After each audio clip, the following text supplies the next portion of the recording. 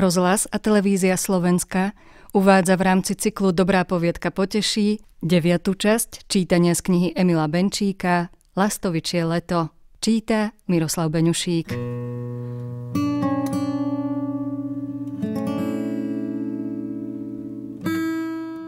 Maj, zelený maj, a ty mi, dievča, boštek daj.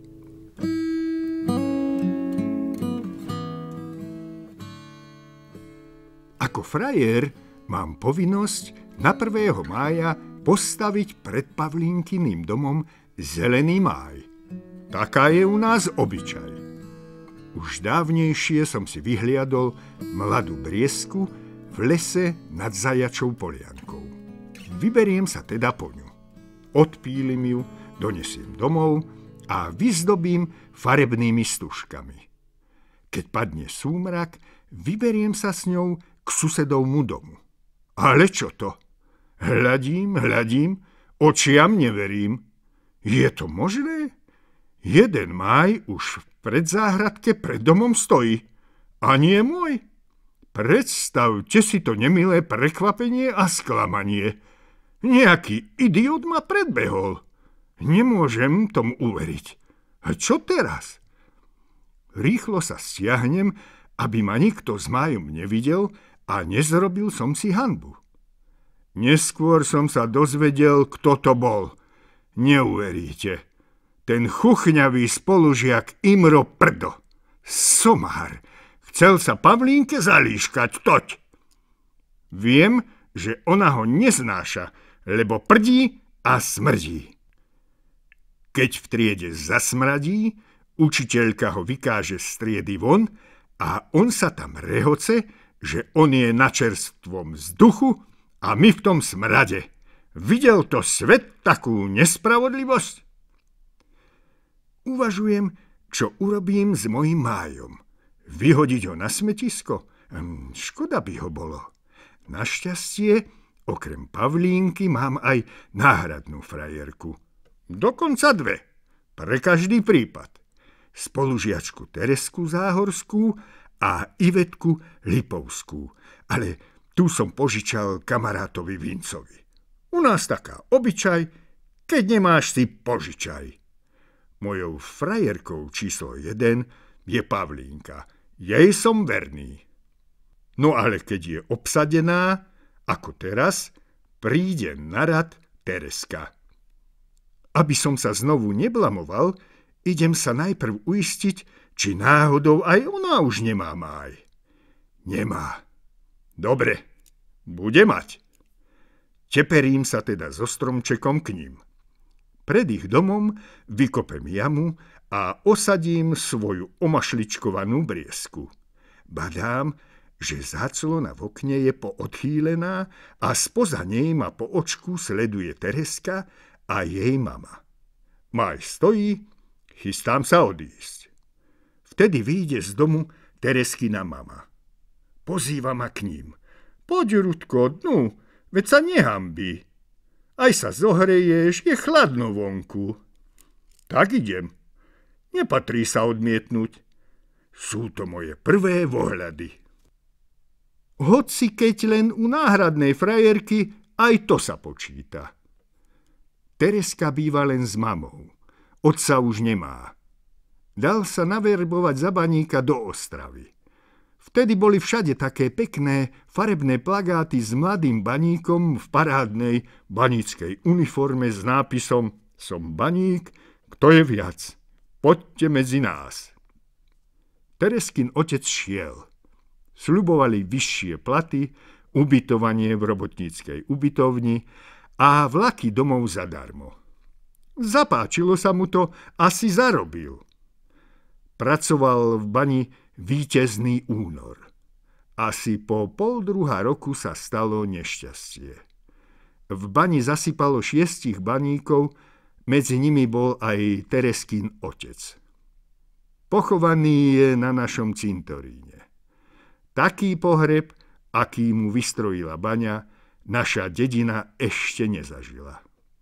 Rakvu s nebohým dopravili z Ostravy pohrebným autom a závodným autobusom prišla na pohreb aj delegácia baníkov a dychová kapela. Márnicu nemáme.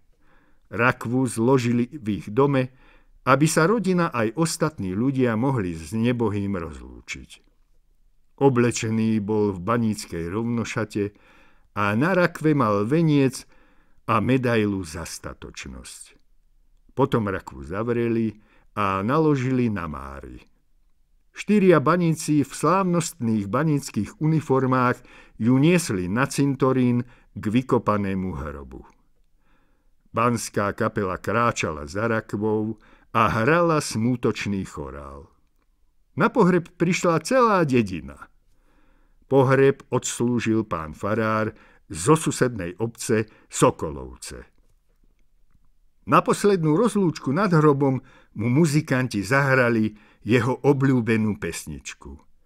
Na lipke zelenej spieva vtáča, do bane mladý baník kráča. Tereska a jej mama boli také zúfalé, zronené, vyčerpané, už ani plakať nevládali. Všetci sme ich ľutovali. Ostali samé, bez muža, bez otca. Neviem si ani predstaviť, čo by som si počal, keby sa to stalo mne. Bolo to pred piatimi rokmi, no dosiaľ to mám pred očami, ako by to bolo včera. Nelutujem, že som Tereske priniesol zelený máj. Videl som, ako sa potešila. Až neskôr mi svitlo v hlave, čo ak som ju sklamal. Možno očakávala, že ten máj bude mať pokračovanie. A je mi to ľúto, ale číslo jedna je pre mňa Pavlínka. Tereska, nehnevaj sa za to na mňa. Nepomôžem si. Pavlinka má prednosť.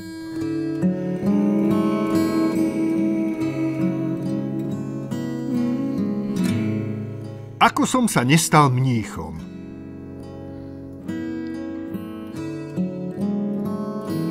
Pred Vianocami navštívili našu školu dvaja mnísi z kláštora. Chodia po školách verbovať starších žiakov do rehole Salesiánov. Zavítali aj do nášho Zapadákova. Oznámili nám, že u nich v kláštornej škole môžeme bezplatne vyštudovať strednú školu. Po maturite sa každý môže rozhodnúť, či chce pokračovať v štúdiu na kňažskom seminári, alebo nie. Núčiť nikoho nebudú. Bola to lákavá ponuka aj pre mňa. Zadarmo vyštudovať? Dobre by bolo. Na štúdium v gymnáziu peniaze sme nemali. Rodičia uvažujú, že ma dajú za učňa na nejaké remeslo. Najväč mi zapôsobilo na nás rozprávanie jedného z mníchov, brata Jozefa. Rozprával nám o svojom pôsobení na misiách. 20 rokov bol misionárom v Afrike. Obracal domorodcov na kresťanskú vieru. Jeho rozprávanie bolo také lákavé a sugestívne, že skoro všetci chlapci v triede prejavili spontánny záujem stať sa misionármi v Afrike. Ani ja som nebol výnimka. No keď mnísi odišli, zápal pohasol a misionárom sa nestal ani jeden z nás. V pôste pred Veľkou nocou nás pán farár na náboženskej výchove pripravoval na spoveď a prvé sveté príjmanie. Aby ste mohli pristúpiť k svetému príjmaniu, povedal, musíte sa najprv vyspovedať zo všetkých svojich hriechov. Ale ako budem vedieť, čo hriech je a čo nie? Opýtal sa trochu provokatívne Vinco. Odpoveď na to nájdete v desatore Božích prikázaní a v siedmých hlavných hriechoch. Pripomente si ich a spýtujte si svedomie, či ste ich vždy dodržiavali a nespáchali niektoré z nich. Na spovedi nesmiete nič zamlčať. Pán Boh je všemohúci a vševediaci. Všetko o vás vie. Pomyslel som si, keď všetko o mne vie, tak na čo to mám hovoriť? A čo sa týka tých desiatich prikázaní, neviem, čo si mám počať so šiestým prikázaním. Nezosmilníš. Neviem totiž, či som zosmilnil, alebo nie. Vinco mi vysvetlil, že smilstvo je nie len to, čo je, ale aj to, čo si len predstavujeme. Neviem, čo s tým. Mohol by som sa spýtať niekoho staršieho, ale sa hambím. Za to z deviatého prikázania nepožiadaš manželku blížneho svojho, sa spovedať nemusím, lebo som nepožiadal. Ani Vinco nepožiadal. Horšie to asi bude s tými siedmimi hlavnými hriechmi. Počuj, Vinco, ty si ich pamätáš? Nie, ale máme ich v katechizme. Počkaj, nájdem ich. A, tu sú. Sedem hlavných hriechov. Pícha, lakomstvo, závisť, hnev, smilstvo, obžerstvo a lenivosť. Iha, tak to si budem musieť pospitovať svedomie. Pícha, nuž, niekedy som pyšný, ale čo je na tom zlé? Hm, neviem. Lakomstvo? To asi nie. Závisť. Hm, je pravda, že občas závidím iným, čo majú oni a nemám ja. Hnev? Ú, to sa ma týka. Často sa hnevám, ale len obyčajne, keď ma niekto nahnevá. Smilstvo? To neviem. Naozaj, podľa toho, čo sa ty myslí. Obžerstvo? Ani to neviem. Opýtam sa mami, či sa obžieram alebo nie. Čo ešte? Aha, lenivosť. Hmm, musím sa priznať, že lenivý som, keď sa mi niečo nechce a musím. Netušil som, že mám toľko hlavných hriechov. Skoro všetky. Čo myslíte? Dá mi pán farár rozhrešenie? Trápilo ma to. Trochu sa mi uľavilo, keď sa mi Vinco priznal, že aj on má toľko hlavných hriechov a navyše aj jeden pohlavný. Pohlavný? Čudujem sa. A to je aký? No, taký, keď devčati opáčiš. Nerozumiem. Čo keď urobím? Dievčati, keď one... Čo ako? No, pod opáčiš. Rukou. Aha, no ty si opáčil. Mm. A ona čo na to? Vylepila mi takú facku, že som skoro ohluchol a vynadala mi dosť prostých somárov. Aspoň sa už nemusíš z toho hriechu spovedať, lebo si už bol zaň potrestaný. Keď už máme toľko hriechov, aspoň si ich nemusíme vymýšľať a požičiavať od druhých. Poda ktoré horlivejšie dievčatá si napísali hriechy na papierik, aby ich na spovedi nezabudli. Jeden papierik so zoznamom hriechov som našiel spadnutý pod lavicou. Stratila ho Ilona z tretej lavice. Zaujal ma najmä jeden z jej hriechov. Pozerala som sa na to, čo majú chlapci. Spočiatku som nechápal, na čo sa to vlastne pozerala. Netušil som, že pozerať sa na to, čo majú chlapci v nohaviciach a dievčence pod sukňou je hriech. Nazdával som sa, že je to len hanba.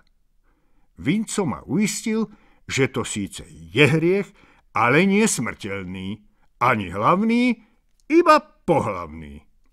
Ešte, že tak, lebo na to, čo majú dievčatá, som sa rád pozeral aj ja. Predstavte si, na spovedi som obišiel na sucho. Pán farár bol akýsi zamyslený alebo unavený, Zdalo sa mi, že ma vôbec nepočúva. Na nič sa ma nepýtal. Nepobadal ani to, že z rovnakých hriechov ako ja sa predo mnou spovedal aj Vinco. Dal mi rozhrešenie a za odčinenie hriechov mi uložil pokutu pomodliť sa očenáš a zdravás. No, to som hravo zvládol a zbavil som sa tak všetkých hriechov. Samozrejme, len dočasne. Lebo človek je tvor hriešný. Bez hriechov nedokáže žiť. Keby aj dokázal, čo by to bol za život? Povedzte. Veď niektoré hriechy stoja za to, aby sme ich páchali. No nie?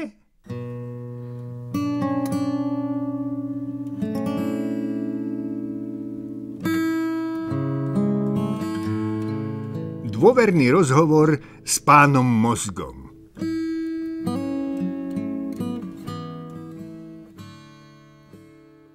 Pochmúrny, daždivý novembrový večer.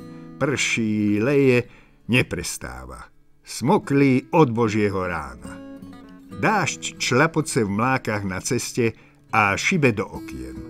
Gustav Konrád, bývalý bankový úradník, posedáva nečinne pri okne a bezcielne hľadí do tej mokrej temnoty, kde vetrisko s dažďom bičuje holé konáre stromov.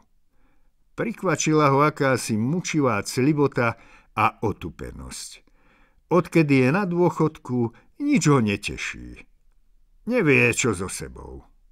Uvedomuje si, že život mu ubieha ako si prirýchlo a naprázdno.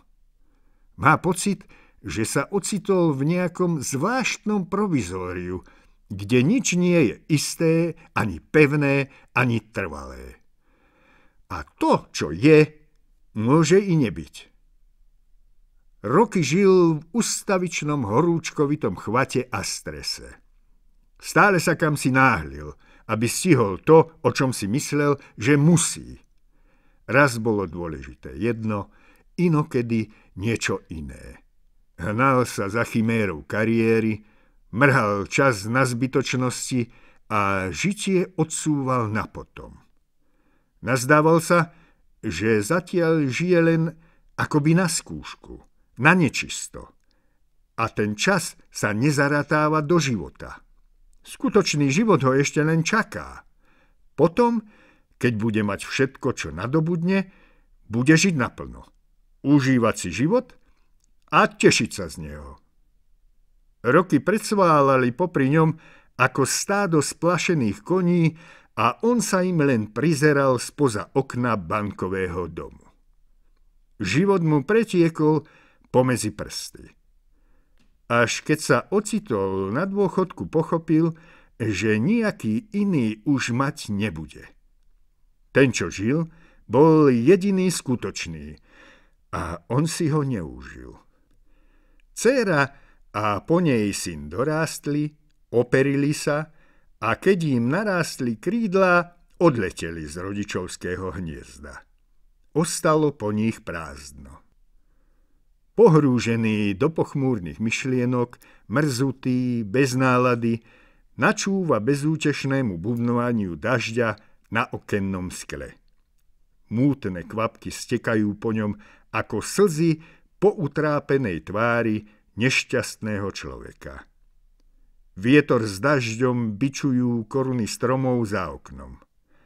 Táto otravná, studená mokrota mu lezie na mozog.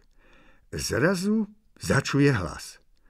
Ak dovolíš, Gusto, vyruším ťa na chvíľu. Môžem? Konrád sa prekvapene obzerá. Nikde nikoho. Hlas mu je však akýsi povedomý. Má pocit, ako by bol jeho. Nikoho nevidím. Kto to hovorí? Ja? Čo ma nepoznáš? A mal by som? Samozrejme, veď som s tebou od narodenia a budem až do smrti. Kto si a kde si? Nevidím ťa. A ani nemôžeš, som tu, hore. Kde hore? V tvojej hlave predsa. Čože? V mojej hlave? Áno, som tvoj mozog, rozumieš? Čože? Môj mozog? Konráda to načisto ohúri. Bodaj by nie, každého by. Počuli ste niekedy, aby mozog rozprával? Mozog je predsa na myslenie, nie na hovorenie. A čo vlastne chceš? Pýta sa zaskočený a zmetený Konrád. Porozprávať sa s tebou. O čom? O nás dvoch. Počkaj, ako to? Ty a ja sme dvaja? Sám vravíš, že si môj mozog, nie? Míliš sa. Je to presne naopak. To ty si moje telo. Bezo mňa by si ako homo sapiens neexistoval. To, čo ťa robí rozumnou bytosťou, som ja. Mozog. Za všetko, čím sa odlišuješ od svojich vzdialených príbuzných, vďačíš komu? Predsa mne. Som tvoj rozum, rozumieš? Ha, nie tak zúrta, kamarát. Uznávam, že mozog je mimoriadne dôležitý orgán, ale nie si jediný. Povedz, kto ťa udržuje pri živote? Nie je to kyslík z plúc? A kto pumpuje okysličenú krv tahore? Nie je to náhodou srdce? Ty si iba jeden z mojich životných orgánov, vážený. Mozog sa ohradí. Vieš čo? Ne, nepáči sa mi, že mi týkáš. Nepásli sme spolu husy. Oslovuj ma pán mozog, dobre? Zaslúžim si tvoju úctu a uznanie. Nevedel som, že mám v hlave taký namyslený, samolúby a arogantný mozog. Čo sa naparuješ? Čo si o sebe myslíš? No, konečne si použil správny výraz. Myslíš. Keby si nemal mozog, tak by si nemal čím myslieť. Cognito ergo sum. Myslím, teda som. A za to, že si, vďačíš mne. Len vďaka mne si tým, čím si. Homo sapiens, človek rozumný. Tvoj rozum som ja. Nepodceňuj môj podiel na tvojej premene zo živočícha z rodu opíc na človeka rozumného. Neučili ťa v škole, že mozog s jeho 12 miliardami buniek prepojeným navzájom tvorí osobnosť človeka? Bez mojej inteligencie, pamäti, schopnosti tvoriť, predvídať, cítiť, milovať i nenávidieť, Dosiaľ by si liezol po stromoch, živil sa banánmi, chytal a požieral blchy v kožuchu opičieho alfa samca. No a čo? Možno by mi bolo lepšie. Čože? To myslíš vážne? No prečo nie? Nemali sme zliesť zo stromov. Bolo by mi tam sveta žiť. Mohol by som bezstarostne skákať z konára na korár a tešiť sa. Nijaké duševné trápenie, mindráky, sklamania, žiale. Vychutnával by som si život bez vždy prítomného pocitu strachu z neodvratného konca. Prestal by som sa báť smrti. Netrápil by ma nejaký namyslený mozog s neodbitnými a zákernými myšlienkami, z ktorých mi je niekedy na zbáznenie. Uznávam, myslenie aj bolí, ale každý špás niečo stojí. Platíš cenu za to, že som ťa urobil uvedomelou, mysliacou a cítiacou ľudskou bytosťou. Eh, len sa toľko nenaparuj, veľkomožný pán mozog. Ani ty nie si všemocný, vševediaci a nesmrteľný. Vieš, kým by si bol ty bezo mňa? 85 kg surového mesa a kostí. Potrava pre mesožravce. Ha, ha, keď si taký múdry, povedz mi, prečo potom tak často zlyhávaš? Prečo nedokážeš odpovedať na tie najjednoduchšie otázky? Napríklad, Prečo som sa ocitol na tejto malej, bezvýznamnej planéte, stratenej v nekonečnom vesmíre? Aký zmysel má tu môj dočasný pobyt? Máš na to odpoveď? Nemáš. Zmysel? Zmysel je čisto ľudský výmysel a hľadať zmysel je nezmysel. Príroda, a my sme jej súčasťou, jednoducho existuje. Nemá a nepotrebuje mať nejaký zmysel. Ak hľadáš zmysel svojej existencie, tak ho hľadaj v sebe. Tvoj život má len taký zmysel, aký mu dáš ty sám. Nestačí ti táto odpoveď? Nie, nestačí. To nie je odpoveď, ale návod na seba klam a seba uspokojenie. Jaj, milý môj, ty očakávaš od mozgu viac, ako mu je dané. Ani ten najinteligentnejší mozog neprekročí vlastný tieň. Som rovnako smrteľný ako ty a zaniknem spolu s tebou. Nechcem ťa strašiť, ale každý deň umiera 10 tisíc mojich buniek. Ak sa dožiješ 70 rokov, mŕtvych bude už 260 miliónov buniek a nakoniec uhynú všetky. Vykrúcaš sa. Na čo sú mi všetky tvoje múdrosti, keď nevieš viac ako ja? Iste poznáš výrok jedného z mojich najgeniálnejších kolegov mozgov, Sokratesa. Viem, že nič neviem. To nič treba chápať tak, že toho, čo nevieme a vedieť nebudeme, je miliónkrát viac ako toho, čo vieme alebo vedieť budeme. Je to len zrnko poznania z nekonečna nepoznaného a nepoznateľného. Ako vieš, čo ľudia budú poznať a vedieť o milión rokov? Na čo ti je to vedieť? Ty sa toho nedožiješ. Tak mi aspoň povedz, či smrťou sa naozaj všetko končí. Odpoveď je jednoduchá. Áno, aj nie. Navrátiš sa tak, kde si bol predtým, než si sa narodil.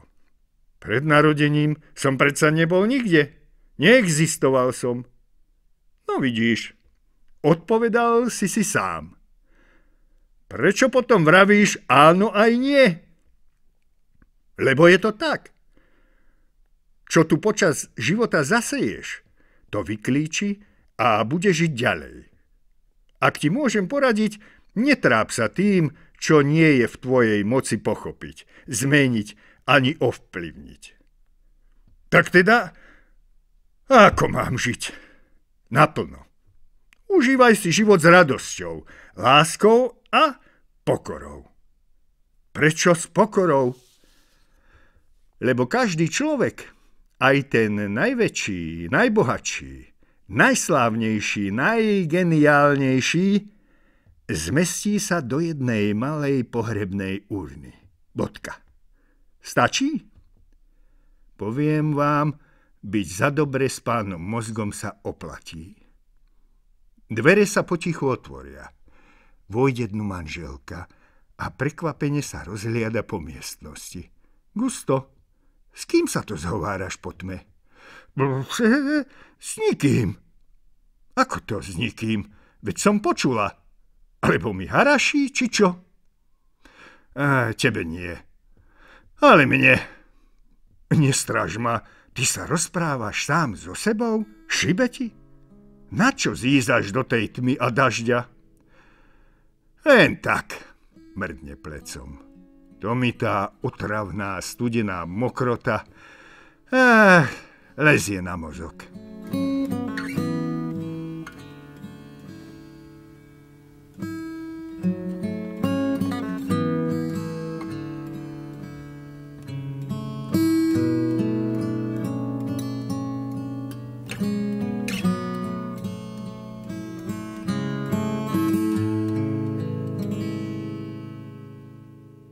Počúvali ste deviatú časť čítania z knihy Emila Benčíka Lastovičie leto. Čítal Miroslav Beňušík, hudobná dramaturgia Marek Kundlák, redaktorka Tamara Chlebová, majster zvuku Andrej Klimič, réžia Karol Horvát, rozhlas a televízia Slovenska 2024.